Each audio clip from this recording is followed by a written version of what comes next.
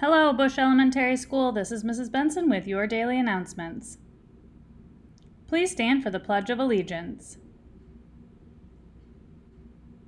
I pledge allegiance to the flag of the United States of America and to the republic for which it stands, one nation, under God, indivisible, with liberty and justice for all.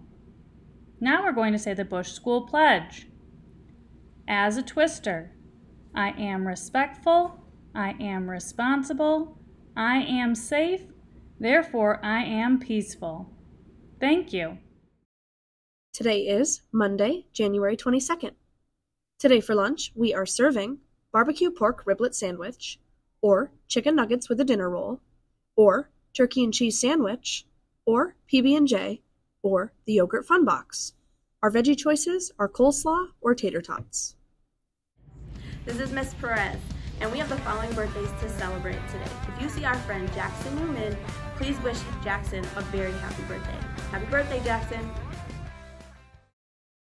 A special shout out goes to Alvy Peterson and Mr. and Mrs. Peterson, who worked with Miss Sisak during a Pacers visit.